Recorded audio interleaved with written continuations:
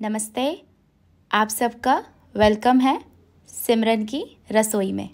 आज इस वीडियो में मैं आपके साथ शेयर करने जा रही हूँ एक इतने बढ़िया से पराठे की रेसिपी जो शायद ही आपने कभी ट्राई किए होंगे, पर मैंने सोचा मैं बना रही हूँ।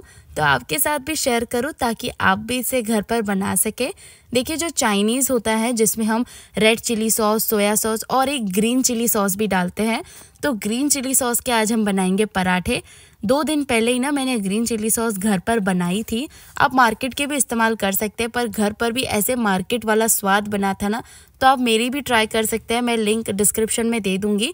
तो उसके ही मैंने पराठे बनाए और ये इतने बढ़िया बने ना तो सोचा आपके साथ भी शेयर कर लूँ। तो पराठे बनाने के लिए एक बर्तन में आपको डाल देना है दो कप गेहूँ का आटा। इसका और स्वाद पराठों का बढ़ाने के लिए एक बारीक कटा हुआ प्याज, थोड़े से धनिया के पत्ते, इसी के साथ स्वाद के अनुसार नमक, साथ ही साथ एक चौथाई चम्मच जीरा, आधी छोटी चम्मच लाल मिर्च पाउडर। उसके बाद देखिए, मैंने ये घर की बनाई हुई ग्रीन चिली सॉस ले ली है। आप मार्केट की भी ले सकते हैं। ये मैंने डाल दिए एक कप जितनी। और इसे हम अच्छे से मिक्स करेंगे। उससे पहले ना मैंने एक चम्मच तेल भी इसके अंदर डाल दिया था। आप घी भी डाल सकते हैं। अच्छे से आपको मिक्स करना है, जितना हो सके इसी से ही आटा आपको गूंदना है। तो यहाँ पर आप देख सकते हैं, ज़रूरत के अनुसार आप पानी डाल सकते हैं। ये बॉटल में ना मैंने थोड़ा सा और पानी मिक्स कर लिया था, ताकि जो साइड में चिपक गई थी ना, वो भी चिल्ली सॉस निकल जाए। तो बस इस तरह से ज़रूरत के अनुसार पानी डालकर आपको आटा गूंद लेना है। ये पराठों के लिए आटा ना ही ज़्यादा सख्त होना चाहिए, ना ही ज़्यादा नरम। मीडियम सॉफ्ट ही आटा गूंदना है, इसलिए थोड़ा थोड़ा कर कर ही आपको पानी डालना है। एक साथ पानी ना डालें और इस तरह से आटा गूंद ले। फिर थोड़ा सा तेल लगाकर आटे को हम अच्छे से मसल लेंगे।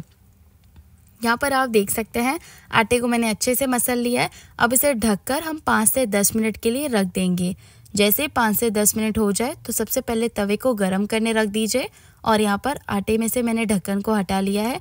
एक बार आटे को हम अच्छे से मसल लेंगे, उसके बाद थोड़ा सा आटा लेकर दोनों हाथ के बीच में से मसल लेंगे और इस लोई को हम चकले पर रखकर दोनों तरफ़ हम सूखा गेहूँ का आटा छिड़कना है और इसे हमें बेलना है।